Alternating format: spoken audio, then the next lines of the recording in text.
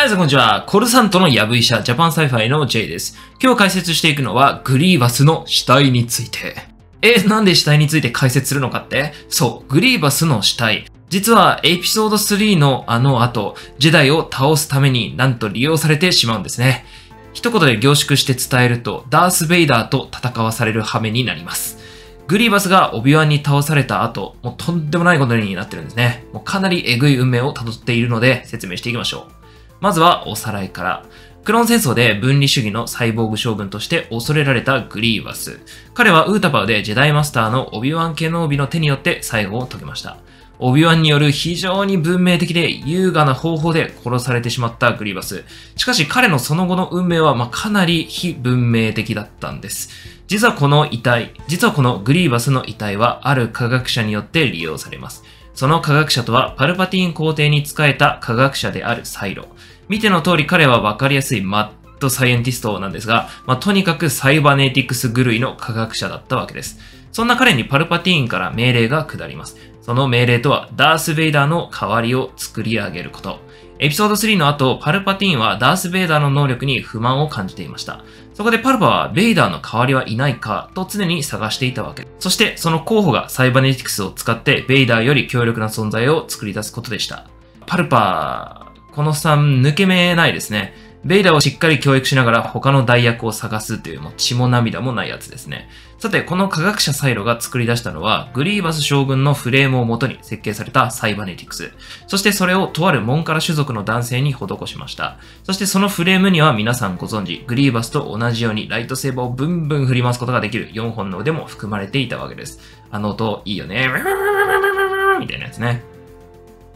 ちなみにこの手術を施されたカービン、実はクローン戦争中に自らの船が墜落し、18年間生命維持装置によって生かされていた存在でした。しかしそんなある日、マッドサイエンティストがやってきて君の体を改造してあげるよと。しかもその設計元はグリーバス将軍という地獄の状況なんですが、その改造を受け入れたカービン君。楽しそうにライトセーバーをぶん回すわけですね。しかしそんなカービン君、なんとこの後ダース・ベイダーと戦わされます。地獄すぎますね。ヤビンの戦いの後、デススター破壊の責任を負われたダース・ベイダーは科学者サイロの研究所を見つけ、自分の代役となる候補役に出会います。皇帝が裏側でベイダーを首にするために作っていた第2のベイダー候補たちですね。その中の一人がグリーバスの体を受け継いだカービン君だったわけです。当然ベイダーはぶち切れてベイダー候補と戦い始めるわけですが、皇帝が仲裁に入るんですね。みんな仲良くしよう。ダース・ベイダーの代わりになるために一緒に頑張ってきた仲だろうと。まあそんなことは言ってないと思います。しかし、それだけだとベイダーの怒りが収まりません。次にカービンがベイダーと出会ったのは、ブロガスバスという惑星でルーク・スカイウォーカーを追跡していた時、二人は別行動していたわけですが、同じ獲物を追っていると分かった瞬間、戦いを始める二人。カービンはこう考えるわけです。ダース・ベイダーのライトセーバーは1本。自分のライトセーバーは4本。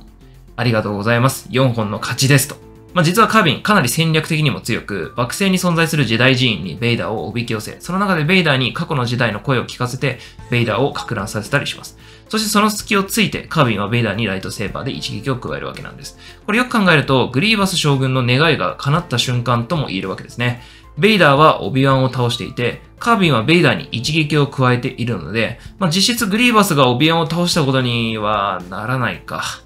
まあ、戦いの結末は皆さんご存知の通り、ベイダー先輩が無事勝利。ダース・ベイダーは、まあ、こう言うんですね。ダークサイドのパワーさえあれば、ライトセーバーは一振りで足りると。うん。まあ、そうなんですよね。やっぱ本数多くてもね、勝てるとは限らないですからね。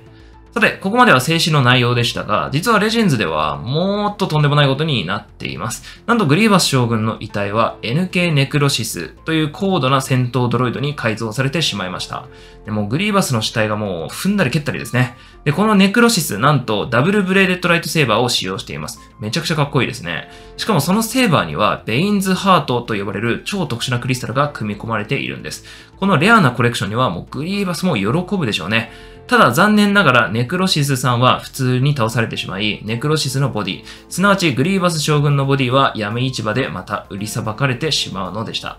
うーん、グリーバス、静止でもレジェンズでも、まあ、かなり悲劇的な運命にあってますね。さて、ここからはスターウォーズのサイバネティクスに関して考えていきましょう。この改造技術であるサイバネティクスとフォース、一体どちらが強いのでしょうか？パルパティーンがベイダーを置き換えるためにサイバネティクス兵士の採用を考えていたということは、サイバネティクスはかなり有用な技術であるということがわかります。少なくともグリーバスやカービンなど4本腕のサイボーグを作り出すことができれば波のジェダイは倒せますし、ベイダーやオビワンもある程度は苦戦させることができました。このベイダーとカービンの戦い、実は両方とも、まあ、サイボーグですしね。サイバネティクスはベイダーのように生命維持に使われるだけではなく、攻撃用途や戦闘での知覚、認知、身体能力を増強する複雑な神経インターフェースに至るまで様々なものが存在します。グリーバスの頭部にはジェダイを憎む神経インターフェースや攻撃性を増すためのサイバネティクスが組み込まれていますからね。では、フォースとサイバネティクス、一体どちらが強いのかこの問いに答えるには、ジェダイの力とは何かを考えることが必要不可欠です。